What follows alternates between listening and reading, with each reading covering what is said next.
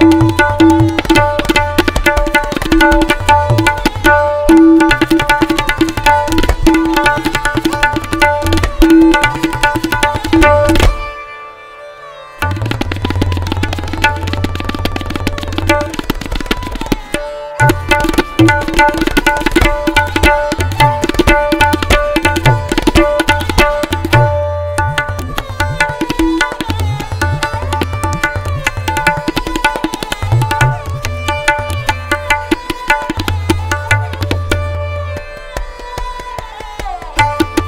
Pandit Shankar Ghosh चक्रदार